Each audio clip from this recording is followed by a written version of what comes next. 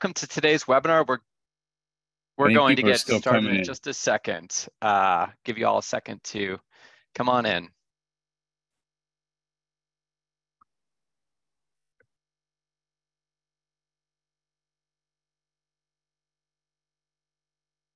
And welcome everyone for those of you who are joining. We're just uh, waiting for a few more folks to trickle in and we'll go ahead and get started.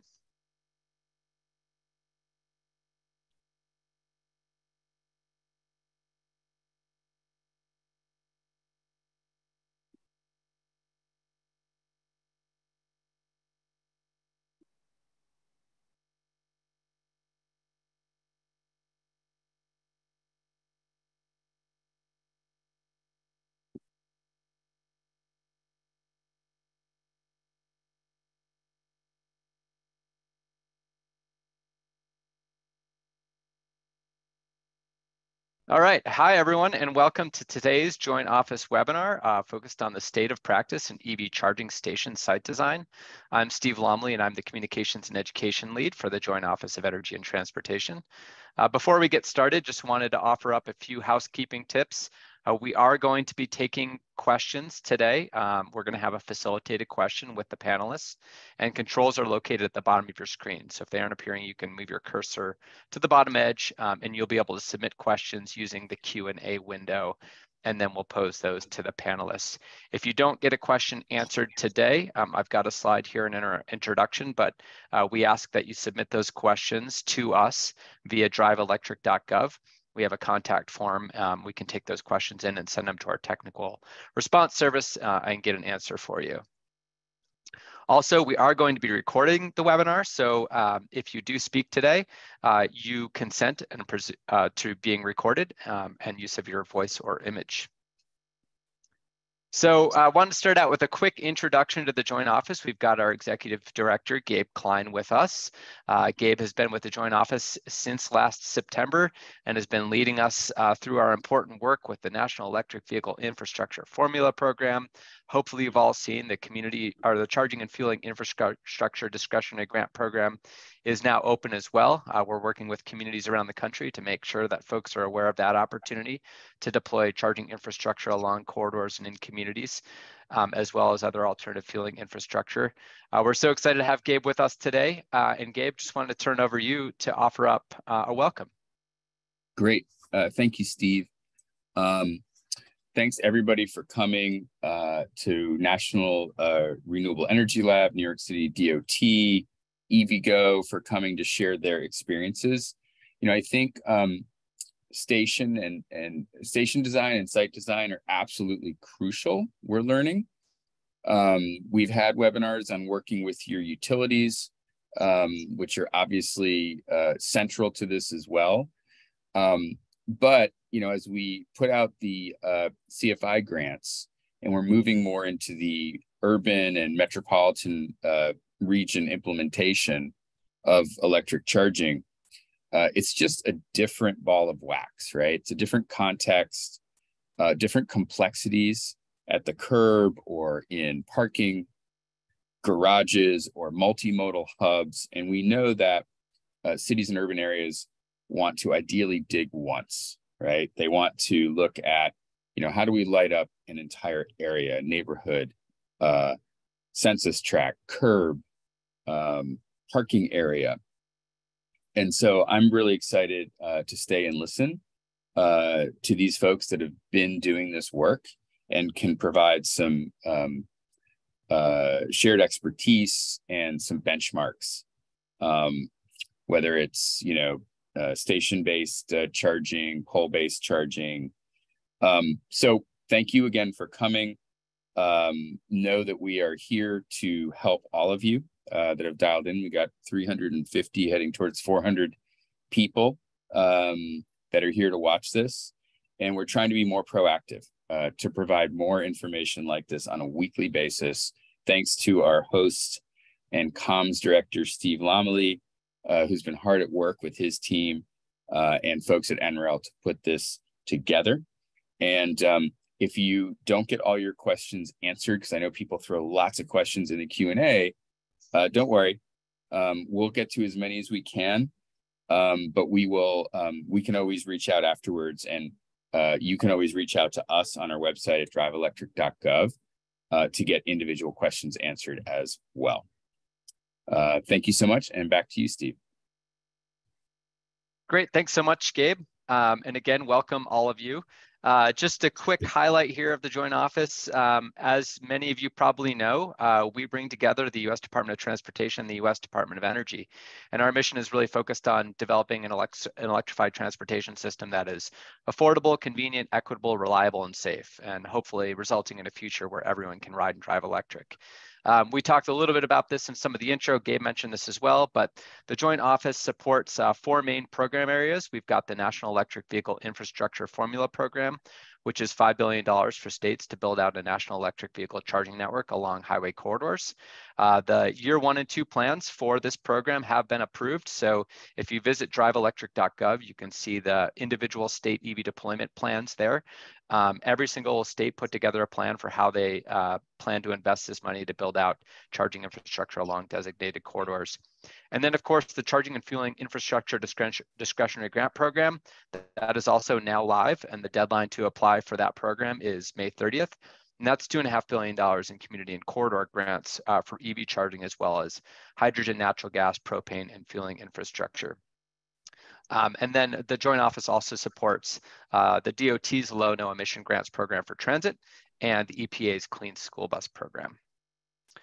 Uh, the Joint Office really is focused on providing technical assistance for these programs, making sure that you all have the resources you need to be successful in deploying charging infrastructure. Um, as Gabe mentioned, thinking about digging once, how can you potentially uh, leverage these programs um, along with other efforts that you have going on to ensure that we're creating uh, various mobility options, sustainable mobility options for people. So um, we're providing specialized assistance to states and communities and tribal nations, as well as transit agencies and school districts. Uh, we've been doing one-on-one meetings with state departments of transportation, specifically focused on NEVI. Uh, we're also responding to questions that come in from communities with respect to the charging and fueling infrastructure discretionary grant program. Um, we do have a concierge service. So there is a team of technical assistance experts. I think we've got nearly uh, 50 folks behind the scenes from 10 different organizations um, who are available to answer your questions about the various programs that I mentioned, as well as the technical technologies associated with these programs. So we encourage you to visit driveelectric.gov slash technical assistance uh, to learn more about the specific programs and the resources that are available. On driveelectric.gov, um, you can, again, submit questions. You can find out about upcoming webinars and important announcements from the Joint Office. Um, we've got access to data and tools that can support infrastructure planning and implementation. Uh, and so again, lots of resources on driveelectric.gov, and we encourage you to uh, visit us there to learn more. And then also um, wanted to really encourage you to subscribe to our email news alerts. So after today's webinar, we will be posting a recording on driveelectric.gov, uh, but we're also going to send out an email uh, to all subscribers on our email newsletter list when that recording is available. And then, as I mentioned, we are going to be taking questions on today's webinar. Um, and if you don't get your question answered today, I would really like you to submit that question to the contact us form. We will have our concierge service uh, take care of that and we'll get back to you um, within a couple of days. Uh, so we really wanna make sure again that we're getting you the resources you need to be successful. Um, with that, uh, before we introduce our panelists, I want to ask a couple of poll questions just to get a sense for uh, who we have on the on the call today. Uh, Justin, if you wouldn't mind for pulling up the first poll question, please. Um, we're interested in understanding what sector you're from, um, and I'll give all of you uh, a minute to go ahead and respond here. And then Justin, when we've got a, a critical mass, um, if you could go ahead and show us the results uh, once those responses are in, please.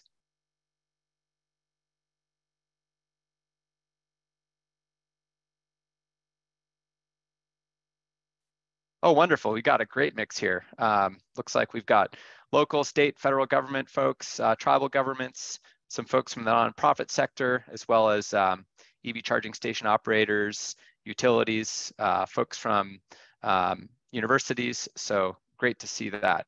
And then uh, Justin, I know we've got another poll question here. If you wouldn't mind bringing that up for us, please. We're interested in understanding what region of the country you're from typically on these webinars, we've had pretty good representation from across the United States. Um, hopefully the same today. So Justin, when we got our critical mass here, if you wouldn't mind showing that as well too, please.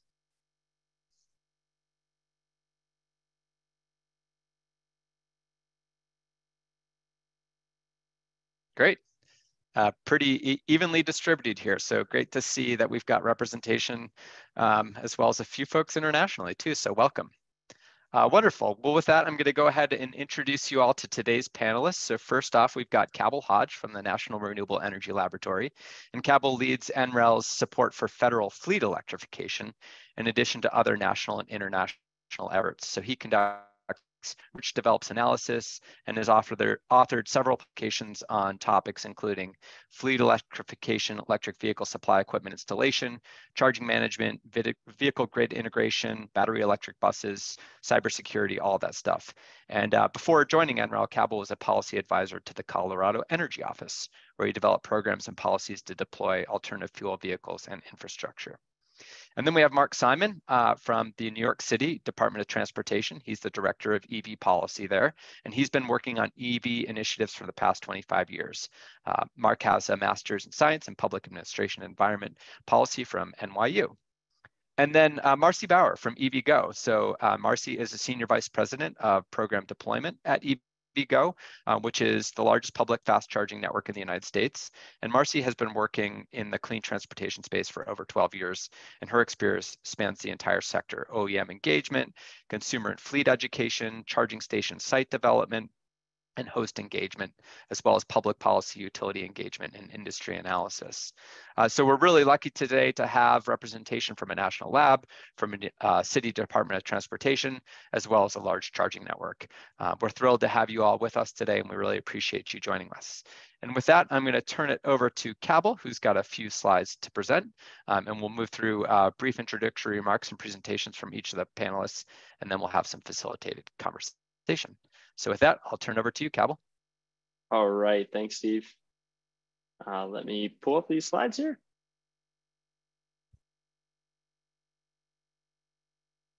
All right, how's that look? Looks good, thank you. Okay, great. So uh, Steve already provided the introduction. I'm Cabell Hodge. I uh, also wanted to call out uh, my colleague who's supported on a lot of this work that I'm going to talk about today, Ranjit Desai. I'm going to talk about EVSE site design support. NREL has done a lot of EVSE planning dating back to at least 2017. Um, we've supported federal fleet electrification planning, starting with the process of identifying fleet EV opportunities to the part that you guys are probably more interested in, which is designing charging infrastructure. Uh, we've designed EVSE plans for between 40 and 50 federal sites. Uh, we've also installed 127 EVSE ports on campus, including level two chargers, um, DC fast chargers, bidirectional chargers, wireless chargers. Uh, reviewed invoices from over a thousand EVSE installations, including a whole bunch in the state of New York. Uh, and we manage a high powered charging lab that includes a couple of 350 kilowatt chargers, a 150 and a 50 kW. Uh, DOE and DOD have jointly funded an NREL tool that we're hoping to get out there, and that's what I'm going to focus on as part of this talk to design EVSE installations and estimate their cost. So this is the tool.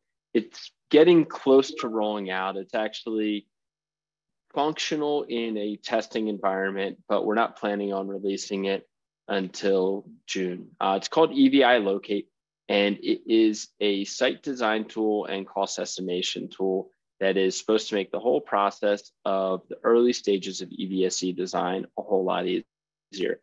You can really run the gamut with this. There are a lot of assumptions built into the tool. Um, and so you can just drop some EVSE icons onto a map, and this will give you a basic design and a basic estimate or you can provide a whole bunch of information on your transformers, the load, service panels, meters, other equipment.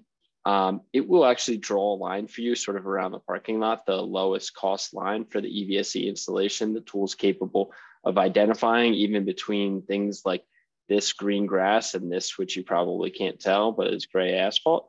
Um, it's capable of identifying what is what. Uh, and so figuring out where you need to trench um, actually using infrared imagery um, in addition to the visual imagery. So it's a really cool tool.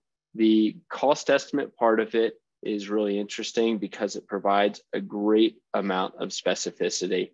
Uh, so it's based partly on data from RSMeans. It's primarily designed uh, for the federal government. And so it uses EVSE that's available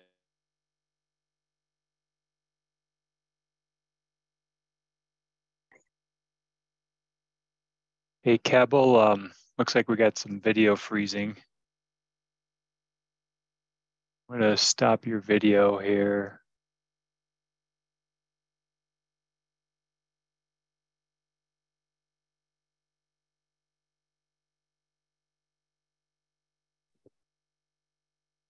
If we're unable to get Cabell back right here in a second, we can uh, move on to Mark and then come back to Cabell. That sounds great. Um, All right. Um, let's see. Uh, can we pull up um, Mark slides? And we'll come back to Cabell in a minute.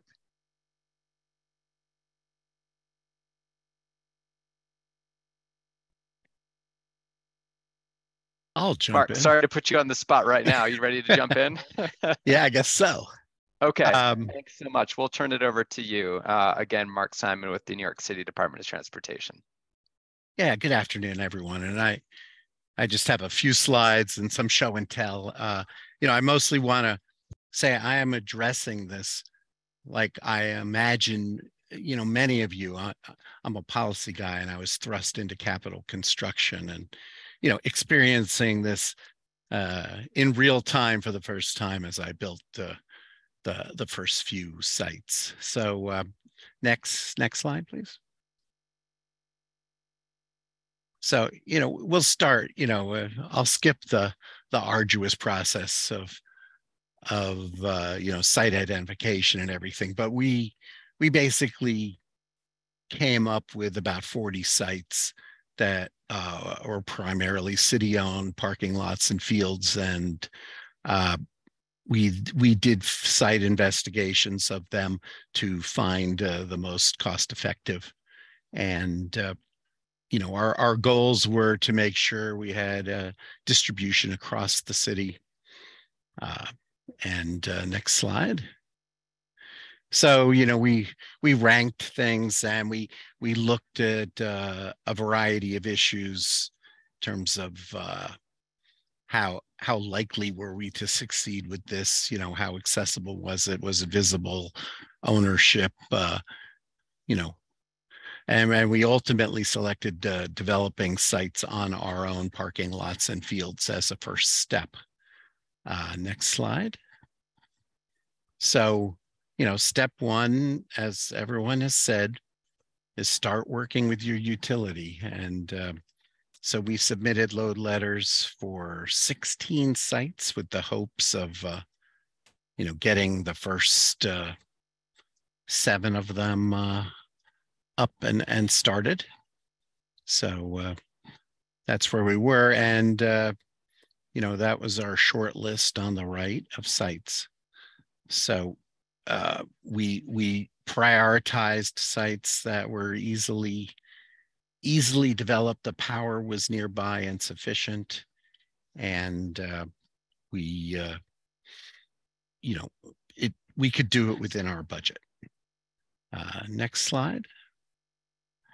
Now uh, I had I had seen some interest before, you know, in in specific design. Now, uh, the first two sites we've done, the chargers are are pull in, you know, on the edges of uh, two parking garages. Uh, now, in this site, uh, this under construction right now. It's it's actually a parking field, and we felt that it was so tight that to have them as pull in uh, did not, you know, just created more trouble than it, than it was worth for fast chargers. So we are doing a drive-through model, and if you look in the center where the arrows going around, that's where the uh, drive-through charging will be, and on the left-hand side is is the extra space uh, for um, for ADA uh, compatibility, and uh, and the bottom right is where the electrical equipment would be. So and then up on top is we're going to have a few level twos in association, but we'll have four four drive-through uh, chargers there, uh, and there'll be well three of them are going to be 75 kW and one's going to be 150 kW. Uh, next slide. Now, now here I'll um, I'm just some examples of things we did and problems we encountered. You know, so if you start on the on the upper right, uh, this was very fortunate because uh, we had we were able to run the conduit along the side of the building, which saved a huge trenching project. So we the power came in way down at the far end there, and uh, uh, we could do that uh, because we had this historic wall that um, kept this from being viewed as an exterior wall. You know, in an exterior wall, this should be encased in concrete uh, if it's on the before you get to the meter. But because of that, we were able to do that and you know run it on the outside, and then right where it comes in is where we put the electrical room. Um, and then you know down below you see where it's coming out and where ultimately the chargers would be. Now, uh, right where the arrow is there, you're gonna see uh, a mistake that we made. We, um, when we originally designed designed it, we wanted to use these spaces closest to the entrance to the garage.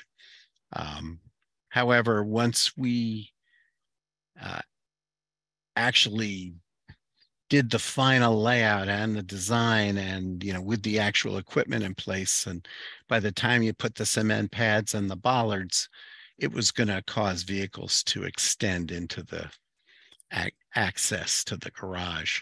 So um, that was we felt was unsafe and we ultimately switched these first two spaces and made them level twos where it was just a wall mounted charger and put the fast chargers further away.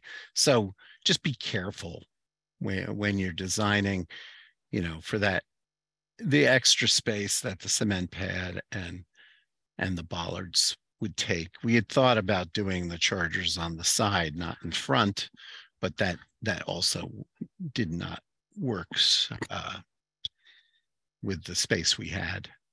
And then up on the top left, this is uh, maybe it's not for all of you, but if you're in a dense urban environment with a lot of old stuff, as they were trenching, they found a pipe. And, you know, uh, who know, does anyone know what this pipe does and what it services? Can we cut this pipe? And, um, you know, bottom line, uh, no one did know. And we had to, um, we basically went underneath the pipe. You know, so you, you're going to get delays, you're going to get snags. Um, this has happened. This happened on my first my first site. So expect the unexpected. Uh, next slide. You know, then, then as we go, so we start on the upper left there. Um, that's that's the layout prior to installing the concrete pads and leveling everything out. But uh, we had the we had the chargers in place and where you see the bollards there on the on the far left you know that we removed those bollards to create the space for the ada spot. Because that right next to those was just a, a a space that wasn't suitable for parking but it was suitable for pedestrian use. Um jumping to the yeah actually i'll start at the bottom. The bottom right here you know when, when you're thinking of an electrical room uh, you know we're building in garages or parking fields where there is no significant uh, power coming in. So it's all new. If you're fortunate enough to be working with a building where there's existing 480 power and you can tap that you know you have a much simpler problem. But we have to do everything. Where we have to transform. We, are bumping the power up. We have switch gear. Um, this is the amount of equipment we needed to operate the four chargers and the space it took. So as you're planning your parking facility, you know, assume assume you may need this much space and for, you know, there may be corners that you're not using for parking where you, so you don't lose as many spots to that. But, uh, but you can end up with a lot of equipment and then, uh, you know, above that, that's, you know, getting just the inspection. The utility has to inspect multiple times. Uh, another issue on the bottom, bottom left, you know, where, where the power comes to your site. You know, the, the point of entry, you know, you have to put in a property line box and uh, we had challenges. You know, we had a construction folks who uh, felt that the property line box was sufficient as it was until we went to actually do the work, in which case it wasn't sufficient. So we had to then pull the property box, put in a bigger property line box. Um, th these are all issues that uh, you know will will come up as you're as you're doing this. So uh, next slide. You know, but ultimately it does get done, and uh, you can have a nice press opening. and I thank you. Great, thanks so much, Mark. Um, and exciting to see the final product there too. Uh, right. Looks like we we have Cabell back on, so um, I'm going to uh, go ahead and share his um, slides for him, and he'll fin he'll finish up. Apparently, his utility decided to replace his uh, meter in the middle of the uh, the Zoom, so sorry about that. All right, I've got your slides up, Cabell, if you're able to talk. Oh yeah, I am. Can you hear me all right? Yep. Yeah, I'm back on my phone. Uh, okay, so I'll just cover this really quickly, and sorry about that, guys. Uh, I just wanted to say that the EVI locate tool has a whole lot of detail uh, in terms of the cost estimate. There are going to be some higher level graphs, but I just wanted to show you guys what information we have here uh, and what we're able to provide. And is part of this, we've been using invoices uh, in order to validate the information that we're getting. And so if you guys have invoices on your EVSE installation, we would love to see them. The next couple slides are really just informational for you guys for, for sort of more resources. Um, so EV AMP is stands for EVs as mobile power. We're looking at bidirectional charging specifically for whether it can provide backup power for Army National Guard readiness centers. Um, but the idea is that we're looking into bidirectional charging. We see a lot of potential in it in terms of the vehicle to building, uh, maybe even more so than the vehicle to grid. And then the last slide that I have here is just a series of brief videos. So if you guys are wondering what we're talking about or are looking for some sort of basic information in, in a quick hit sort of format, um, or want to share this with somebody else, highly recommend you guys checking out that link right there, energy.gov slash ERE slash FET, electric dash vehicle dash training. And that's it for me. Great, thanks so much, Cabell, and sorry you got disconnected earlier. Um, we are going to now turn to Marcy Bauer from EVgo to uh, tell us a little bit about her experience, and then we'll go ahead and get into some questions, which I'm excited about. So Marcy, over to you. Great. Uh, you can just click it right through to the next one. Thank you so much. All right, so uh, EVgo is one of the largest public DC fast charger networks in the US, um, even bigger when you count all of those little dots on the map that are our roaming partner chargers in the mix. Um, our network has been 100% renewable energy powered since 2019. That's through a mix of what's naturally in the grid plus some renew renewable energy credit purchases. Um, and on this slide that you're seeing, uh, really just a fraction of our site host partners. These are partners that host our chargers. Um, but really, since our founding in 2010, we've cultivated strong partnerships across the entire charging ecosystem, and I'll get into the ecosystem in a moment. Um, so, you know, just you know, building partnerships left and right, uh, whether it's hosting chargers or utilities uh, that hopefully don't come and turn your meter off in the middle of a in the middle of a panel session. Um, so we are primarily focused on deployment of fast charging in public spaces where people really need that quick and convenient charge session, um, as well as on supporting fleets with the variety of services and the various core competencies that we've built up over the past so many years.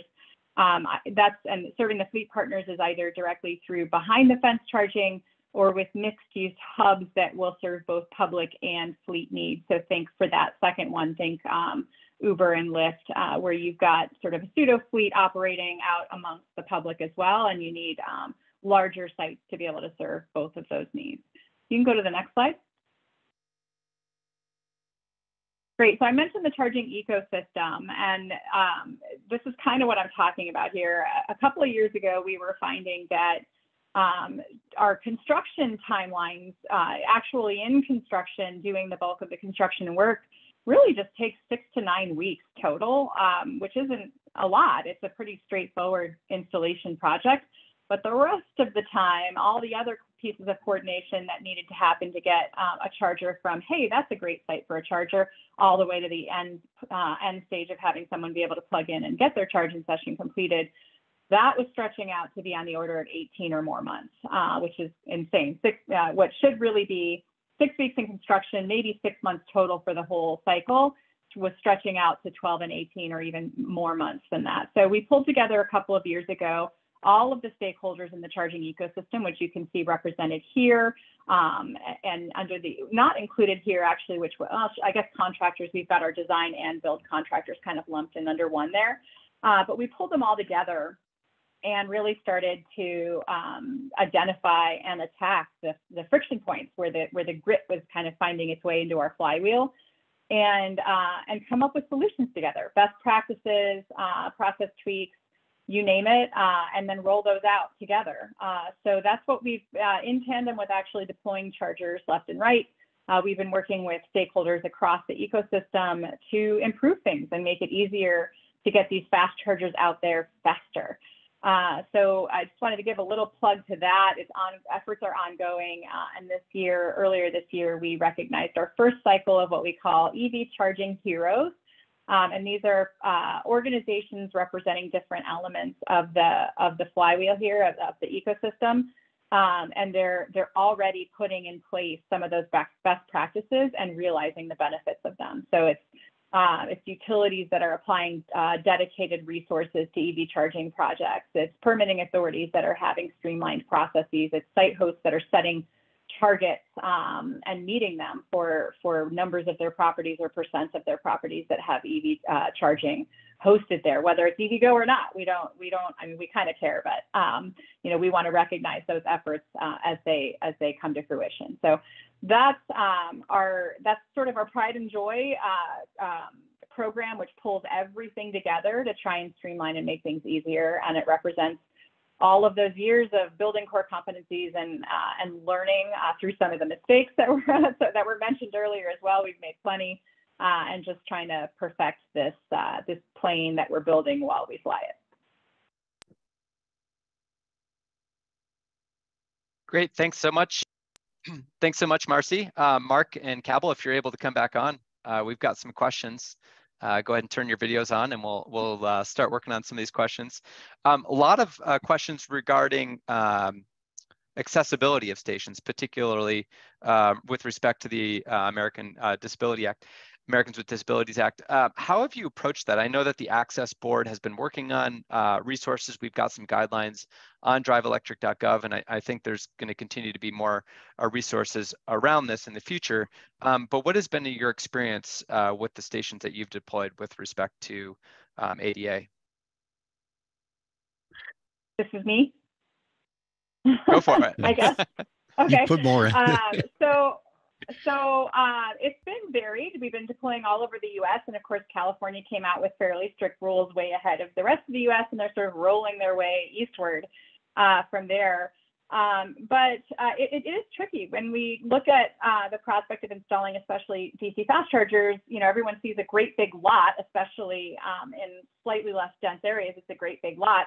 You think you can install anywhere. Why would you pick there? And so um, you know, we'll get kind of nudged around the lot by the site hosts themselves, um, underground uh, services to avoid, overground serv- uh, overhead services to avoid, and of course ADA considerations, which is what the question is about. Um, we do have to consider path uh, path of travel, um, and and some jurisdictions consider the destination to be the charging. Others consider the storefront, uh, the retail centers to be the destination, and we have to create a path of travel uh, to one or the other. If they're at the charger, they're at the charger. But if uh, if the jurisdiction is um, interpreting it the other way, then then we've got to create that path uh, to the storefront. And so uh, there's a lot of different considerations that are baked into that. But um, you know, we, we need to make sure our our units are all designed to be ADA, ADA compliant for reach uh, and things like that. But yeah, it's uh, it's increasingly um, it's always been important, but its importance is spreading um, and and definitely amplifying as we as we work to deploy chargers nationwide. Mark, anything to add there based on your experience? Um, well, just some of the things to look out for, like in a garage, you know, we we were building, you know, their ramps. A lot of the charger, you know, the vehicle parking is on ramps and the, the ramp the angle was uh, insufficient to, to meet ADA mm-hmm. guidelines. So we had to, you know, deal with that and and and adjust the design for that. And uh, otherwise, yeah, the reach, the reach uh, works, but it's it's not it's not crystal clear because you have the equipment, then you have how you install that equipment and, you know, making sure that the bollards don't interfere with accessing. It's, uh, it could use some more clarity. Let's put mm-hmm. it that way. And I know um, one of the one of the uh, participants asked about um, specific station design guidelines. Um, and the access board does have some specific yes. guidelines, and those are on driveelectric.gov. So for those questions related to the uh, charging and fueling infrastructure discretionary grant program, um, we'll put a link in the in the chat to uh, that page on driveelectric.gov. But um, I don't know, you kind of have all started to touch on just uh, the nature of different use cases um, for charging, right? Mark, you're you're installing charging infrastructure in municipal garages right now. I knew you've been thinking about curbside.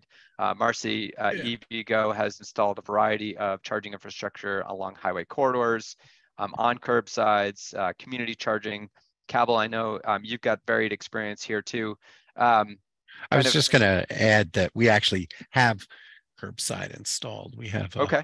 100, 120 charge spots or 116 charge spots uh, in, in operation in the city as part of a demonstration program with Con Ed.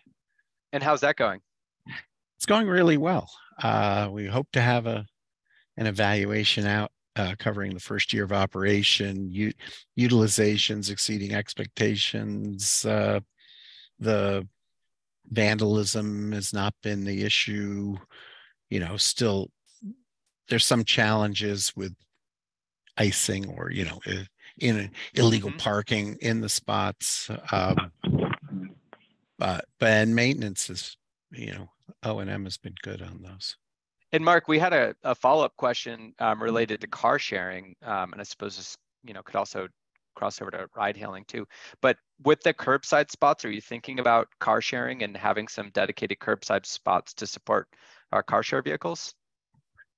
That is uh, currently an active active discussion here uh, about how how to how to work with uh, the car sharing and whether you know would the responsibility be on us to develop that charging or or the the car share operator? But but i would i would expect to see see some plans around that uh, fairly shortly. Great. Well uh Cabell, you presented us with a very a variety of tools when you're walking through and we had a question here um, I, I know you talked about uh, being able to identify costs associated.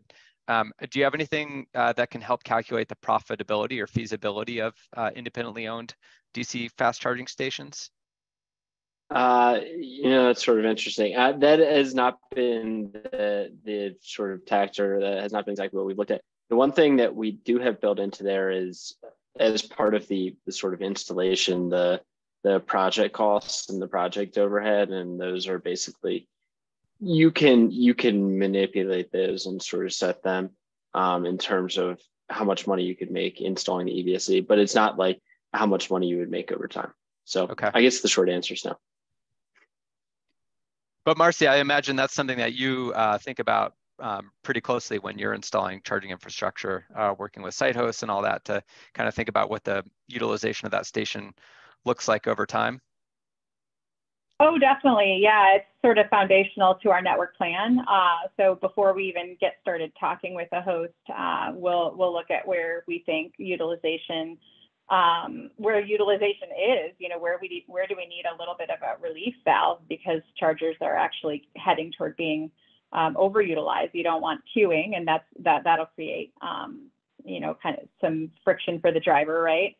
Um, but uh, certainly when we're going into new areas, um, that's that's the first and foremost consideration. Where do we think the utilization demand is going to be?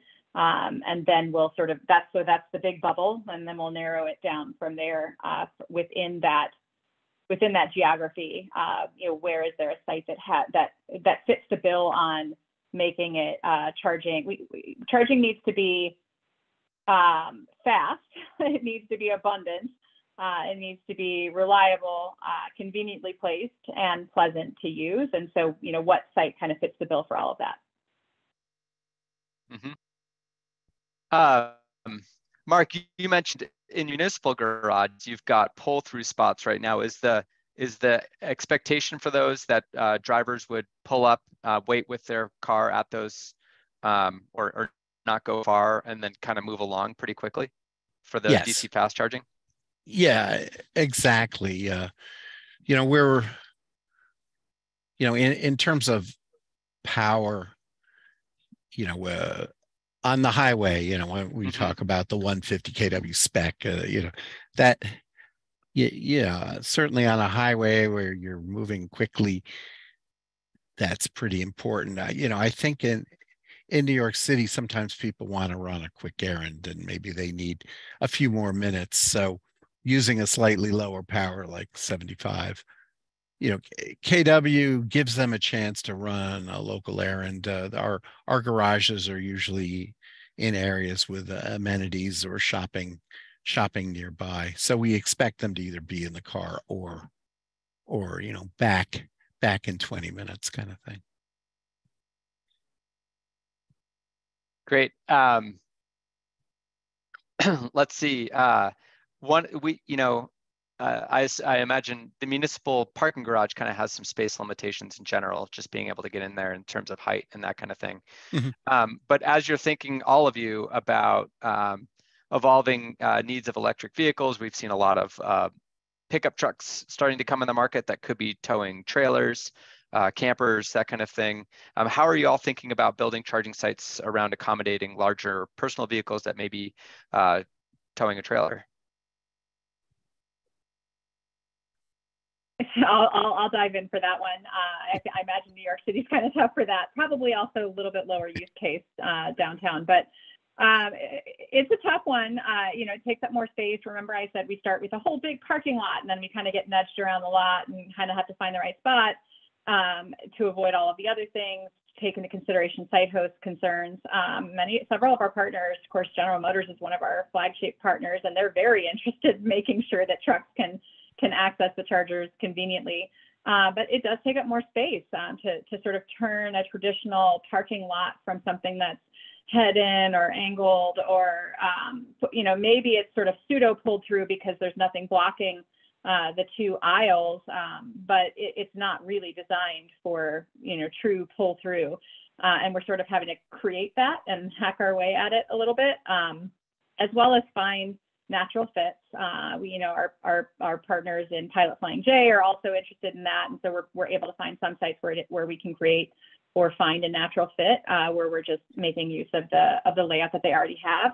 Uh, but but it's tough it, and it does impact site design. Um, and and to make matters even more complicated, it's not just a matter of um, taking up the space, uh, finding and taking up the space uh, with the host, but also the charge port locations are different on every vehicle.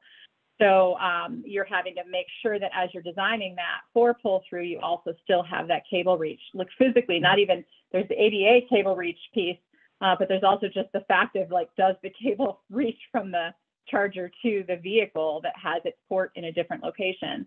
Um, and all of those factor in heavily to, to how we place our uh, chargers within a site, and in fact, the sites that we look at from the start. Yeah, Cabell, I know that you've worked with a number of uh, federal uh, agencies to just deploy charging infrastructure on federal campuses and at DoD facilities, that kind of thing.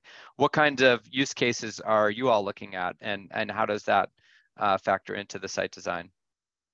Yeah, so we mostly are looking at applications for the fleet vehicles themselves, and a lot of those are light duty. Uh, some of them do end up being some of the the heavy duty vehicles like buses and things. And in a lot of cases, though, that's the same vehicles that are always coming back to the chargers. Uh, so it's a little bit easier to say like, mm-hmm.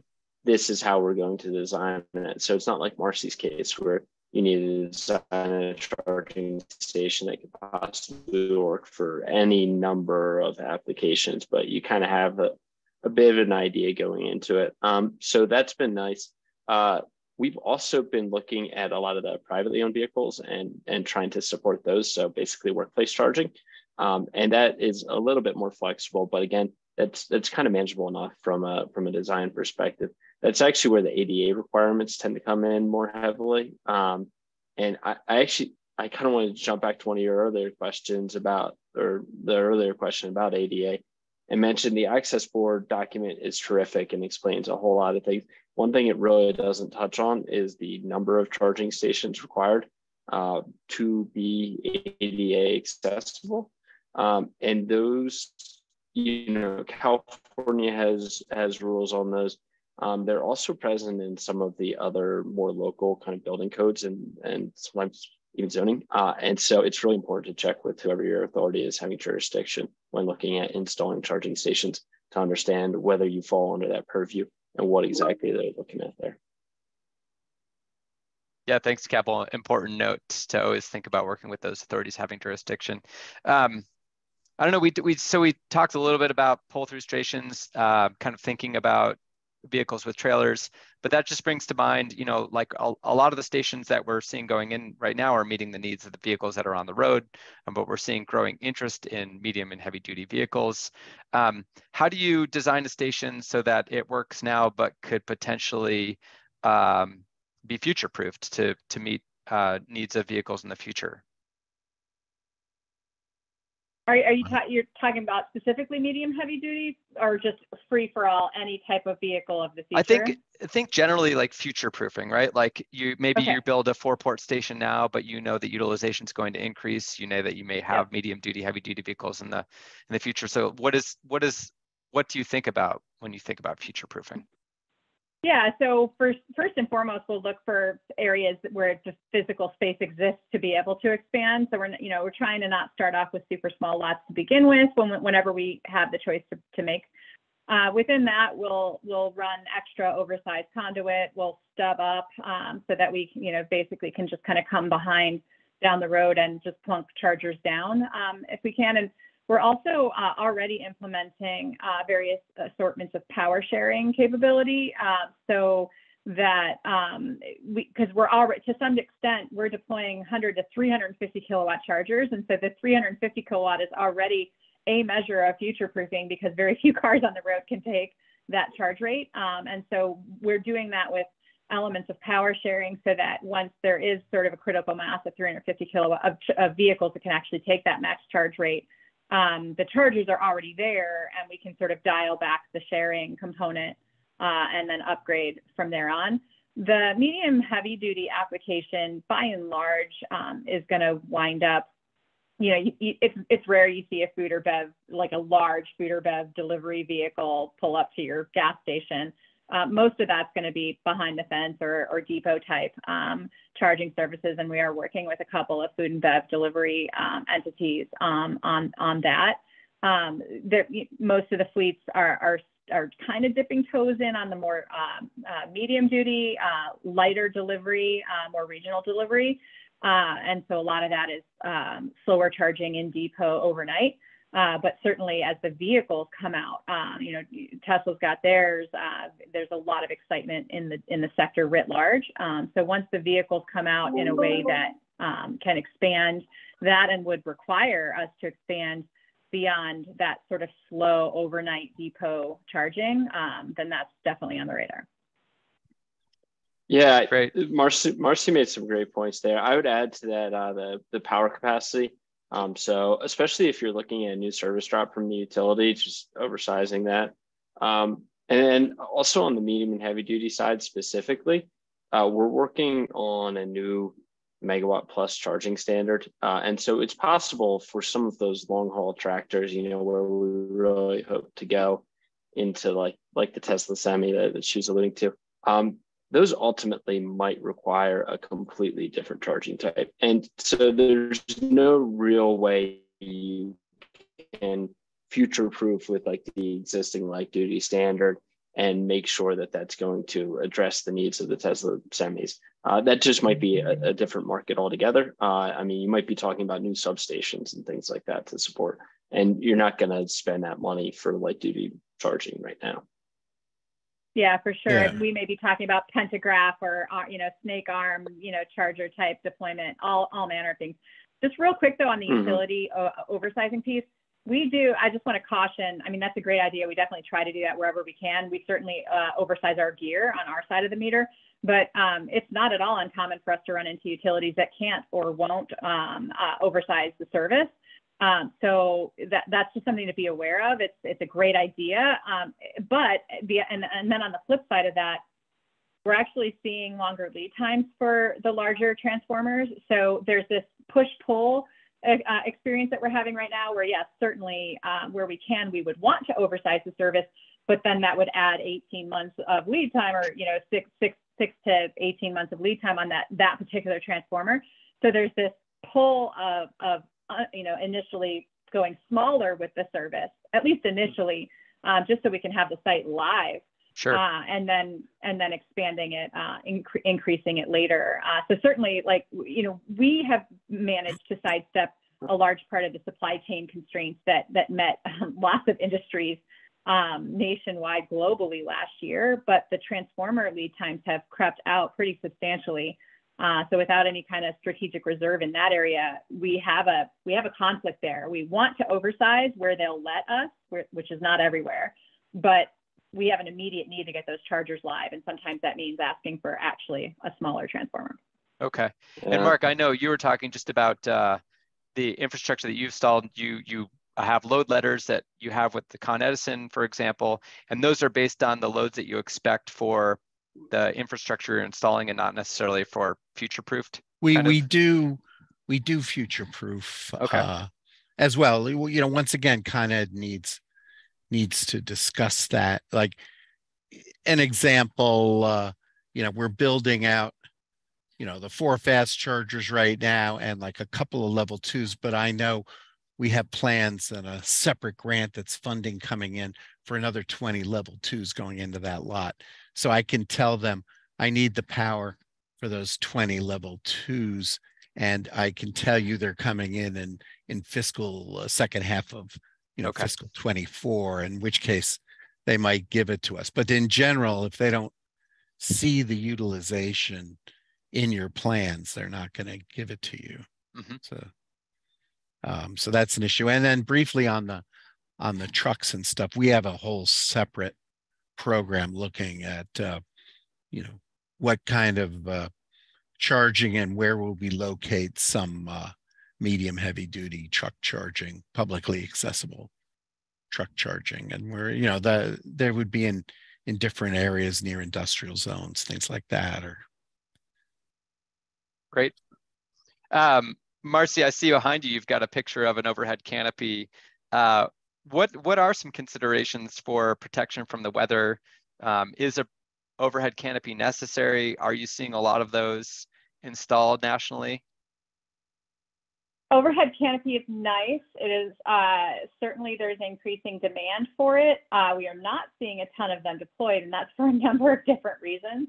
Um, first and foremost, you know, we are uh, we are most often, uh, and we're not alone in this. Other networks are, are in similar situation, if not identical situation, where we are a, a, a lease a leasee or leaser lesser in this in the parking space. That it's owned by another entity, uh, and we lease the parking spaces where we install and they themselves then in turn have um, lease agreements with many other tenants, um, which may actually restrict um, things that block line of sight to their storefront. Um, they've got aesthetics to worry about. And that's just on the host side. On the permitting side, it could add six to 12 months uh, of permitting time and an exorbitant amount of cost. And it itself doesn't actually add um, anything to the NPV profile of the site. So um, it's a tough, it's a tough, uh, some tough math to do.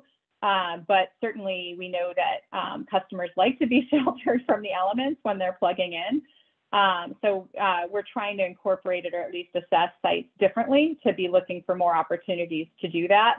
Um, and we know uh, our partnership with Pilot Flying J, you know, it's come up with them as well. They, of course, you know, you pull up to a Pilot Flying J site, they've got canopies over all of their gas stations, of course, um, or gas pumps. Of course, they want it over the chargers as well. And so we're navigating that um, that space, but it is uh, it is a complicated space. Um, and even in areas where we would feel maybe very strongly that canopy should be provided, the hosts themselves might um, might veto it for a variety of different reasons. Mm-hmm. So um, there's there's a lot to it to be sure.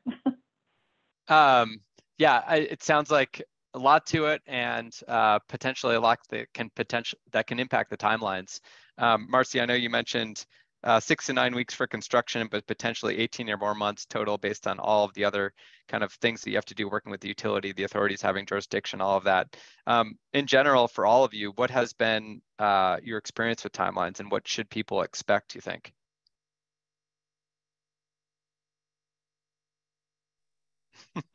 It's been it's been all over the place in my experience. Uh, I mean, sometimes with the federal fleets, the longest thing is getting the money, and and they're budgeting things two years out ahead of time. So it's like they budget, then they do the design, then they install the EVSE, and so they're talking about a few years, right?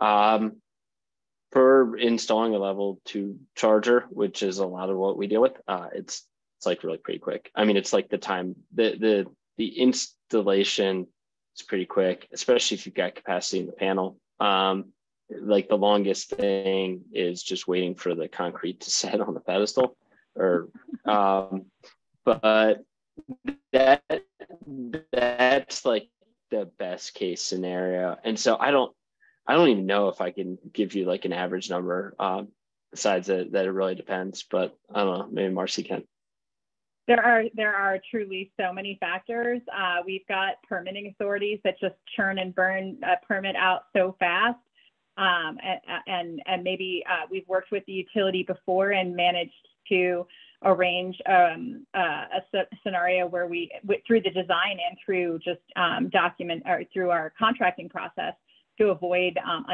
And anyone who's not familiar with an easement, that's a whole nother ball of wax that can add um, weeks or many months onto a project timeline. Um, so if we can avoid that completely, uh, where the, the project is suddenly uh, pretty golden, uh, uh quick, quick, uh, quick permit, no easement, um, that's going to be a pretty fast project. But if you're going through rounds of negotiation between the host and the utility on easement language, if you've got a permitting authority that doesn't really feel a whole lot of motivation to incorporate any of those best practices or maybe is resource constrained, um, we've got some permitting authorities, for example, that um, they don't address EV charging in their in their language at all. It's just not covered, and their interpretation of that is to therefore disallow it completely. So, so you know, we have to go through rounds of, of negotiations trying to get them to introduce and pass new language, um, initially starting with trying to convince them that that's not a necessary position to take to begin with, uh, and then rounds of negotiation over um, methodology to get it introduced. Um, that's kind of more worst case scenario. Um, but you know we've got plenty of unicorns that go real fast, um, and plenty of those other um, the other kind of unicorn, the the not great kind that goes yeah. not so fast. well, great. I'm going to show some slides here um, just as we're wrapping up. but uh, as we close out, um, I think we just have one minute left, but can each of you just share uh, one um, maybe uh, best practice uh, or principle in approaching site design that you think um, everyone on the call should walk away with? We'll go ahead and start with you, Marcy. I'm just going to put in a plug for Connect the Watts because there's a whole bunch. I'm going to cheat. There's a whole bunch of best practices right in there. So look up EVgo Connect the Watts and you'll find literal, you know, two pagers and one pagers that describe in, in a fair amount of detail all the best practices in, in several of the charging ecosystem um, or areas. So that's a that's a really great place to start. Thanks, Marcy. How about you, Mark? I don't. One thing I was going to get to very quickly is is the you know as a government uh, we have to bid and uh, getting getting bids that that are stable enough with the current price fluctuations or price increases you know we need 90 days and um, you know work you know based on your purchasing abilities uh, you know work work to give yourself the time because prices are are just all over the place right now. Good suggestion. Thank you mark. Cabell yeah i would just say to pull your team together first thing we we have similarly a lot of resources and one of them is like 15 steps to electrification but the very first step is just pulling your team together uh, and so I think that includes some of the external stakeholders, like if you're subject to permitting, like most folks are outside the federal government, um, you want to make sure that you understand what the requirements are going in. Great. Well, thank you all so much. We really appreciate you being with us today. Uh, we are going to be doing more webinars. Um, we do have some coming up focused specifically on ADA accessibility as well um, in May and June. So we'll be sharing more information out about that.